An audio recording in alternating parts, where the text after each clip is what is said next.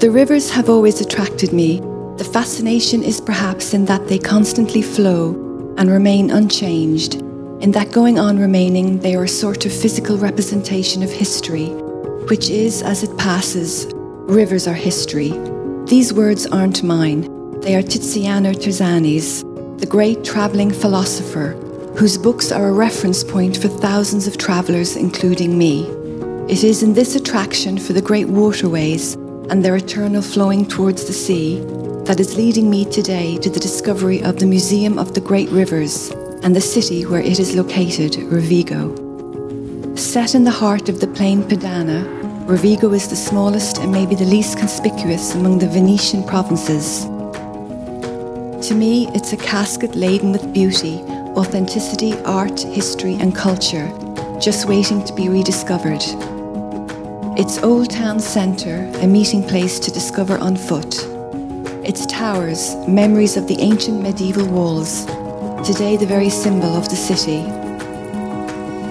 Its churches, its monuments, its buildings.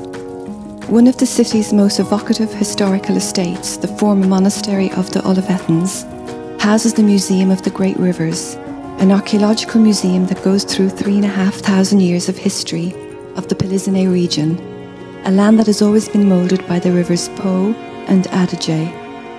This modern, engaging, and interactive exhibition shows the life, the spaces, the furnishings, the habits and the imagination and the loving bonds of the men and women that inhabited this territory since the Bronze Age and the Iron Ages, through the Roman Empire and the Middle Ages, up to the Renaissance period.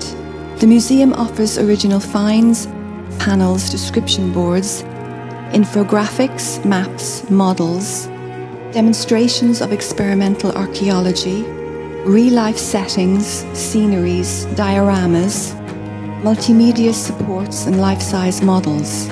The visitor is no longer just a passive spectator, but becomes a player in the history of Polesine triggering off a dynamic relation between the container, the evocative architectural spaces of the monastery, and the content, the original collections on display. This museum is captivating for an adult audience that has offered a plurality of perspectives, from an archaeological to a historical artistic route, or to an itinerary focused on monuments.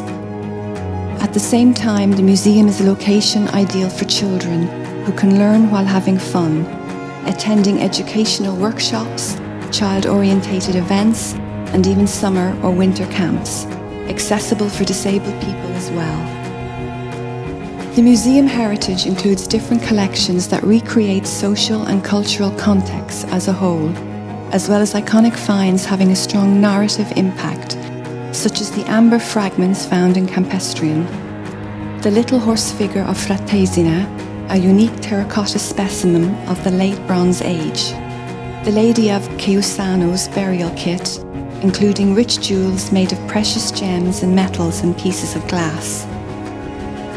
The decorated Majolica plate by Francesco Xanto Avelli, ceramicist from Rovigo, one of the most outstanding of the 16th century, who painted this work dedicated to the tragic love of Hero and Leander.